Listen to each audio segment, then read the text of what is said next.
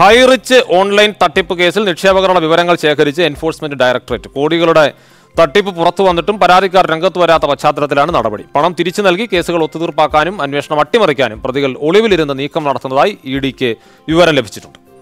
ഒരു കോടിയിലധികം വരുന്ന നിക്ഷേപകരിൽ നിന്നാണ് ആയിരത്തി അറുന്നൂറ്റി തൊണ്ണൂറ്റി മൂന്ന് കോടി രൂപ മണി ചെയിൻ മാതൃകയിൽ ഹൈറിച്ച് കമ്പനി ഉടമകൾ കൈക്കലാക്കിയത്.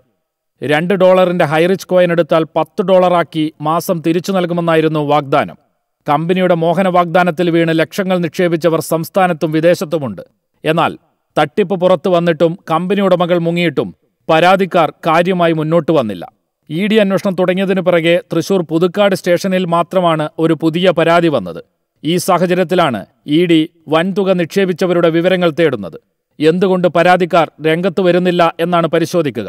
നിലവിൽ പുതുക്കാട് എറണാകുളം സൗത്ത് സുൽത്താൻ ബത്തേരി കേസുകളിൽ മാത്രമാണ് ഇ ഡിക്ക് ഇ സി ഐ ആർ ഇട്ട് അന്വേഷിക്കാൻ കഴിയുന്ന ഐ പി സി നാനൂറ്റി ഇരുപത് പോലുള്ള ഷെഡ്യൂൾ ഒഫൻസ് ഉള്ളത്.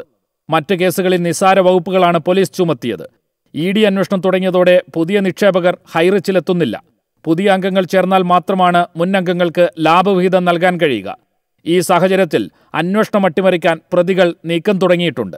ചേർപ്പ് സ്റ്റേഷനിലെ കേസ് റദ്ദാക്കാൻ പ്രതികൾ ഹൈക്കോടതിയെ സമീപിച്ചത് ഇതിന്റെ ഭാഗമെന്നാണ് ഇ ഡി വിശദീകരിക്കുന്നത്. നിസ്സാര വകുപ്പുള്ള മറ്റ് കേസുകളും പണം നൽകി ഒത്തുതീർപ്പാക്കാനും നീക്കമുണ്ട്. ഇത് ഇ ഡി അന്വേഷണത്തിനും തടസ്സമാകും. സമൂഹ മാധ്യമങ്ങളിലൂടെ നിക്ഷേപകരെ വിശ്വാസത്തിലെടുക്കാൻ ഒളിവിലുള്ള പ്രതികൾ ശ്രമം നടത്തുന്നതായും ഇ ഡി വ്യക്തമാക്കുന്നുണ്ട്. കൊച്ചിയിൽ നിന്നും N K Shiju Asianet news.